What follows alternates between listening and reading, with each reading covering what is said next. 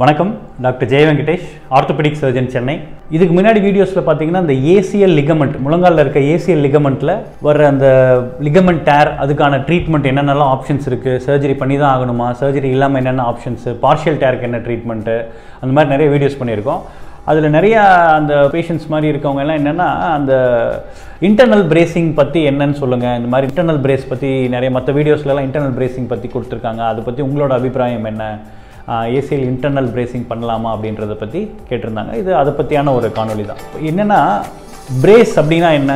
பொதுவாக வந்து ஒரு பெல்ட் போடுறோம் காலுக்கு முழங்காலுக்கு பெல்ட் போடுறோம் பிரேஸ் போடுறோம் அப்படின்னா அதுக்குள்ளே ஏதாவது ஒரு பாதிப்பு ஒரு பகுதி வீக்காக இருக்குன்னா அதை ப்ரொடெக்ட் பண்ணுறதுக்கு பாதுகாக்கிறதுக்காக ஒரு பிரேஸ் இப்போ ஒரு பில்டிங் கன்ஸ்ட்ரக்ஷன் அப்போ வந்து நீங்கள் தற்காலிகமாக அந்த கான்க்ரீட் போட்டு கொஞ்ச நாளைக்கு அந்த கீழே சப்போர்ட்லாம் ஸ்கஃபோல்டிங் எல்லாம் வச்சுருக்கிறது எதுக்கு? அந்த கான்க்ரீட் செட் ஆகிற வரைக்கும் அதை சப்போர்ட் பண்ணி வைக்கிறோம். அந்த மாதிரி இப்போ நீ ஏசிஎல் ரீகன்ஸ்ட்ரக்ஷன் லிகமெண்ட் ரீகன்ஸ்ட்ரக்ஷன் பண்ணதுக்கப்புறம் இதர் ரிப்பேர் எம்சிஎல் ரிப்பேரோ இல்லை மற்ற சர்ஜரிஸ் பண்ணுறப்ப அது வந்து எல் அந்த எலும்போட ஜவ்வு சேர்றதுக்கும் சரி இல்லை ரிப்பேர்னா ரெண்டு ஜவ்வையும் தையல் போட்டோம்னா அந்த தையல் ஏரியாவில் நல்லா ஸ்ட்ராங் ஆகிற வரைக்கும் அதை ப்ரொடெக்ட் பண்ணுறது பேர் தான் அந்த பிரேசிங் அப்படின்றது. பிரேஸுங்கிறது என்ன பொதுவாக வெளியே பிரேஸ் முழங்காலுக்கு பெல்ட்னு சொல்லிட்டு தொடையிலேருந்து கால் வரைக்கும் பெல்ட் போடுறது உண்டு. ஈவன் ஆக்சுவலாக அந்த பெல்ட் சம்மந்தமாகவே என்னென்ன பிரச்சனைக்கு என்னென்ன மாதிரி பெல்ட் போடலான்னு கூட ஒரு தனியாக வீடியோ பண்ணியிருக்கேன். அதை பற்றி கூட நீங்கள் பார்க்கலாம்.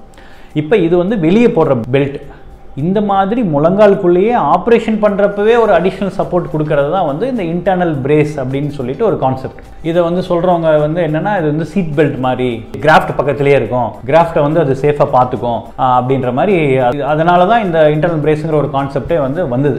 இப்போ இந்த இன்டர்னல் பிரேஸுங்கிறது என்ன ஆக்சுவலாக வாட் இஸ் இன்டர்னல் பிரேசிங் அப்படின்னு பார்த்தீங்கன்னா நம்ம அந்த ஏசிஎல் கிராஃப்ட்டுக்கு பக்கத்துலேயே நம்ம எதர் ஹாம்ஸ்ட்ரிங் கிராஃப்டோ இல்லை வந்து பிடிபியோ பெரனியஸ் கிராஃப்டோ வாட் எவர் கிராஃப்ட் வேர் யூஸிங் அந்த கிராஃப்ட்டுக்கு பக்கத்துலேயே ஒரு திக்கான சூச்சர் மெட்டீரியல் அதாவது அல்ட்ரா ஹை மாலிகுலர் பாலியத்திலின்னு சொல்லிட்டு இது வந்து ஒரு ஹை டென்சைல் ஸ்ட்ரென்த் இருக்கிறது.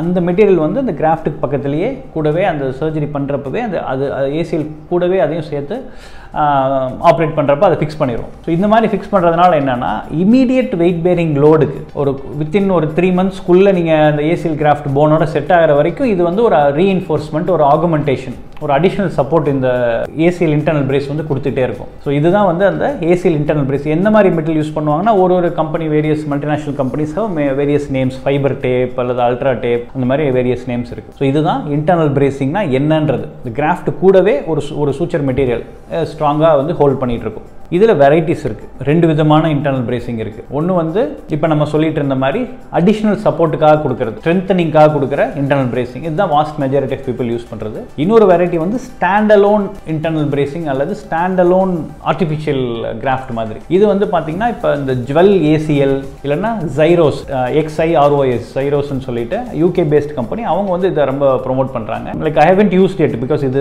இந்தியன் மார்க்கெட்டுக்கு இது இப்போ தான் நியூ பட் அது நிறைய கான்ஃபரன்சஸில் ரிசர்ச் ஆர்டிகல்ஸில் அதை பார்க்க முடியுது. ஸ்டாண்டலோனா அதாவது கிராஃப்ட் ஸ்பேரிங் சர்ஜரி நீங்கள் வந்து ஏசிஎலுக்கு ஹாம்ஸ்ட்ரிங் இல்லாமல் வெறும் இன்டர்னல் பிரேஸ் மட்டுமே ஒரு கிரா கிராஃப்டாக யூஸ் பண்ண முடியும் அப்படின்ற மாதிரி. இது முன்னாடி இருந்தது தான் ஒரு டுவெண்ட்டி இயர்ஸ் முன்னாடி இருந்தது. அப்போ கொஞ்சம் சக்ஸஸ்ஃபுல்லாக இல்லை.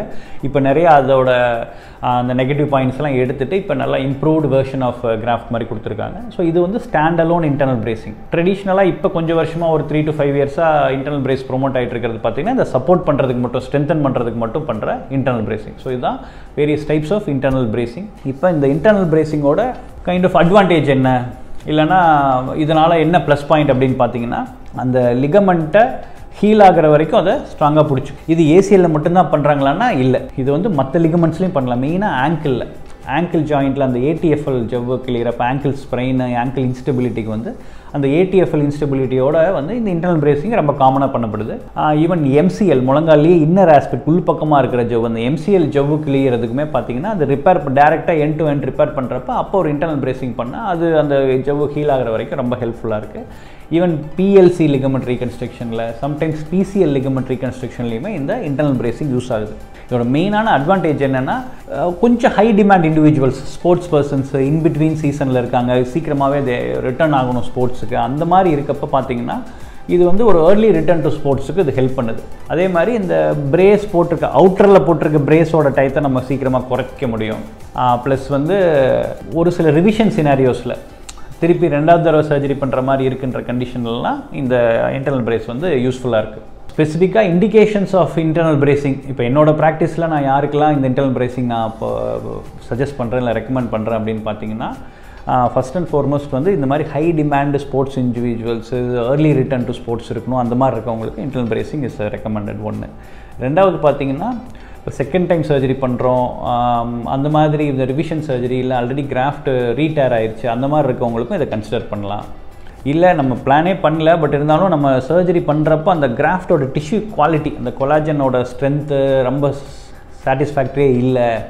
இல்லைன்னா டயமீட்டர் ஆஃப் த கிராஃப்ட் வந்து ரொம்ப கம்மியாக இருக்குது ஒரு ஃபைவ் எம்எம் சிக்ஸ் மில்லிமீட்டர் தான் இருக்குது அப்படின்ற பட்சத்தில் அந்த மாதிரி பேஷண்ட்ஸ்க்கு internal bracing is good actually ஏன்னா ரொம்ப ஒரு செவன் மில்லிமீட்டர் எயிட் மில்லிமீட்டருக்கு மேலே கிராஃப்ட் இருக்குன்னா it is stronger to withstand the physiological loads கொஞ்சம் தின்னாக இருக்கப்போ இந்த இன்டர்னல் பிரேசிங் ஆட் பண்ணுறது it's a practical solution for that இதுதான்.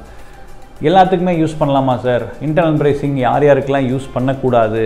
அப்படின்னா கான்ட்ரா இண்டிகேஷன்ஸ் அப்படின்னு பார்த்தீங்கன்னா பொதுவாக ஒரு மாதிரி ரொம்ப இம்யூனோ காம்ப்ரமைஸ்டு நோய் எதிர்ப்பு சக்தி ரொம்ப வீக்காக இருக்கவங்களுக்கு அந்த மாதிரி இருக்கவங்களுக்கு இந்த ஃபாரின் பாடி ரியாக்ஷன் இல்லை ஒரு இன்ஃபெக்ஷனுக்கான ரிஸ்க்கு அந்த மாதிரி வரலான்றதுனால அது கொஞ்சம் நம்ம பார்த்து பண்ணணும். என்ன தான் இருந்தாலும் இது ஒரு ஃபாரின் மெட்டீரியலுங்கிறதுனால அந்த ஒரு சைனோவைட்டிஸு அதெல்லாம் வர்றதுக்கான ஒரு வாய்ப்புகள் தியரட்டிக்கல் ரிஸ்க்கு இருக்க தான் செய்யுது.